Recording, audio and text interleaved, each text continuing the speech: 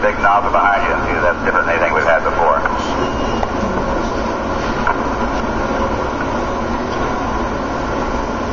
That concludes the questions. Uh, thank you. Uh, you want to make a statement, Ed? Go ahead. Would you heat up Ed White, please?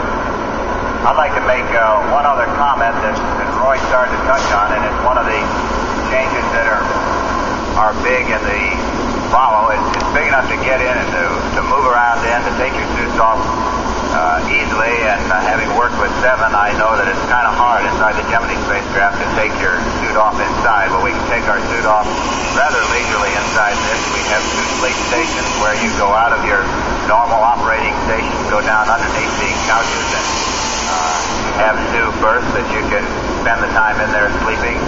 And uh, you have hot and cold water spacecraft, and we even have a little portable john in there. So uh, there are a lot of differences between this and our, uh, and I think maybe the housekeeping is one of the big differences. Uh, we're starting to move into large spacecraft with this Apollo spacecraft.